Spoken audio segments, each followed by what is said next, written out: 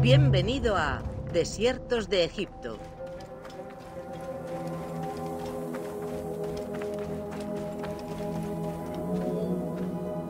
A ambos lados del exuberante Nilo estaban el árido desierto occidental y el desierto oriental montañoso, que cubrían casi el 94% de Egipto. Cada uno de estos grandes desiertos tenía su propio microclima y albergaba desiertos menores con su propia fauna y flora. En las profundidades del Sáhara se han descubierto fósiles de ballena.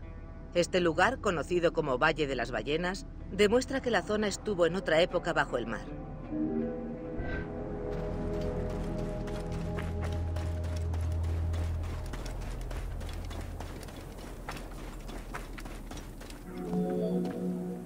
El desierto blanco, al noreste del Sáhara, debe su nombre al suelo de caliza blanca que contrasta con la arena amarilla.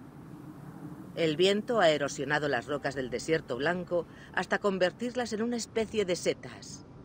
La más famosa recibe el nombre de dedo de Dios.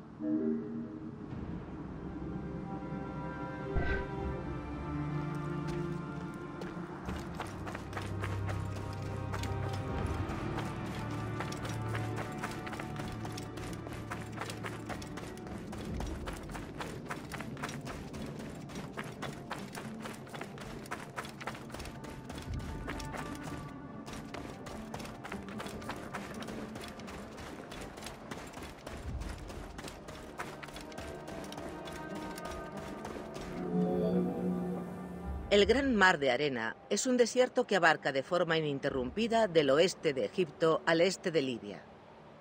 Allí se puede encontrar un mineraloide característico llamado vidrio del desierto líbico.